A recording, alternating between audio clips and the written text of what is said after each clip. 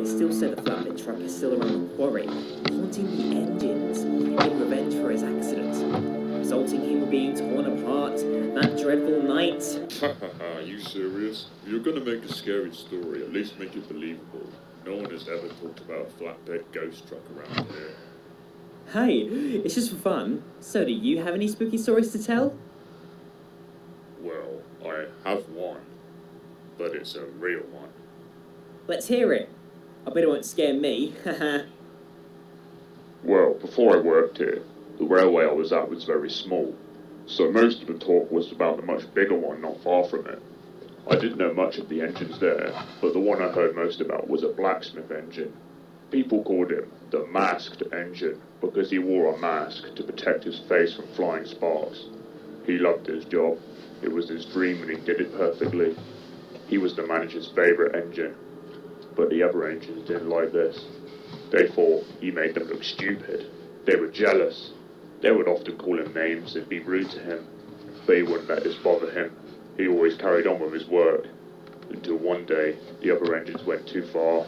They tried to pull a prank on him, which resulted his shed being caught on fire, and the blacksmith engine was tragically burned and killed in the accident. The other engines didn't want to get in trouble for it, so they blamed him, and the manager believed them. He was ashamed of the engine and sent his body for scrap that night. But the driver of the dead engine was filled with rage from the manager believing the body engines. He took the engine's body somewhere and disappeared. People believe that he went to the UK because nothing was heard or seen from them ever since.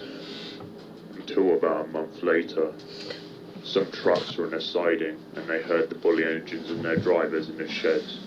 It was pretty foggy that night, so they couldn't see the shed doors. The engines and their drivers were telling jokes to each other and listening to music, until the laughter was quickly stopped by.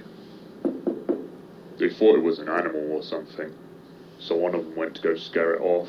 But what they didn't know is what was on the other side of those doors wasn't going to be scared off. As the shed doors opened, the mist started to clear. It wasn't the blacksmith engine. Well, at least not anymore. What was there was a vengeful, modified, and undead engine, with eyes described by the trucks, more evil than the devil himself. With the manager's ripped off head attached to his buffer, all the trucks could do was watch the masked engine charge into the sheds and see their blood and intestines splatter all over the windows and hear the screams of the engines and the drivers being finished off by being burned alive with his flamethrower.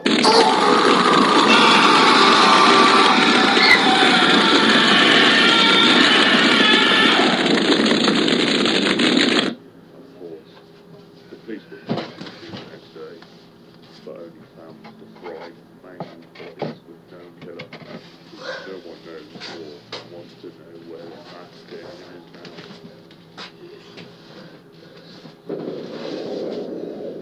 You. You mean he's still alive?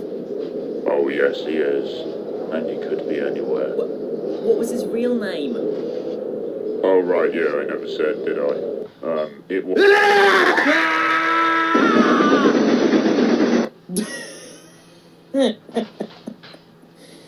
Good job there, buddy. Thanks. We got them good, didn't we? We did indeed.